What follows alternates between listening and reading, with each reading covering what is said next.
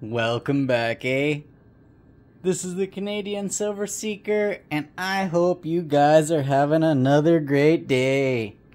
I just got back from my weekly LCS trip, and this week I picked myself up a Proof 2003 silver dollar. This is a commemorative of the Voyager and the 50 year reign of the Queen.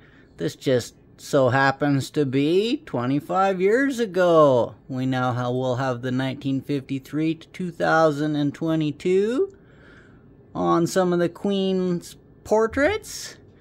This particular one is made out of 4 nines fine silver and it is 25.1 grams, has a diameter of 36 millimeters and it just actually happens to be one of two different silver dollars that had the Voyager on for this year.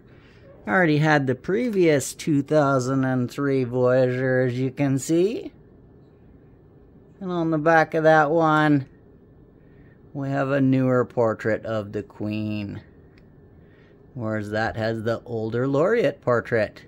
They both weigh the same. They both have the same diameter. As far as mintages, I believe this one was part of a set.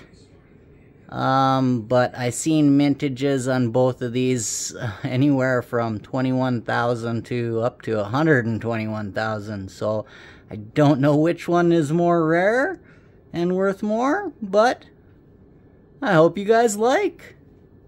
Remember, doesn't cost you a single piece of silver or gold to like and subscribe. But you guys mean the world to me.